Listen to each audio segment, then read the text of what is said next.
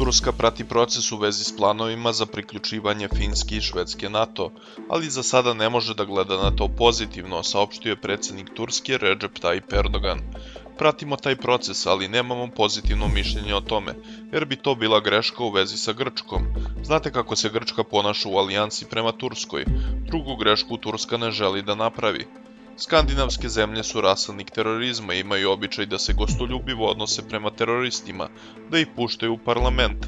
Zbog toga za sada ne možemo pozitivno da gledamo na to, rekao je Erdogan novinarima.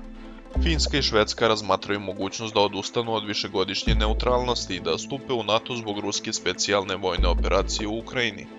Šef alijanse Jens Stoltenberg je rekao da će NATO rado videti Finsku i Švedsku u svojim redovima i da će im omogućiti brzo stupanje u Savez.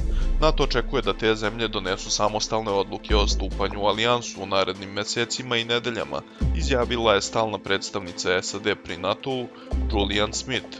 Ona je dodala da SAD pozdravljaju pristupanje tih zemalja alijansi. Rusija smatra da je NATO usmeren na konfrontaciju. Port parol Kremlja Dmitri Peskov je upozorio na to da dalje širenje NATO-a neće doprineti bezbednosti Evrope i da ima agresivan karakter.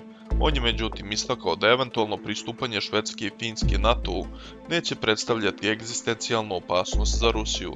Zamenik stalnog predstavnika Rusije pri Ujedinjenim nacijama Dmitri Poljanski je rekao da će stupanje Švedske i Finske u NATO i razmeštanje odreda alijanse na njihovoj teritoriji te dve zemlje učiniti potencijalnim ciljevima ruske vojske.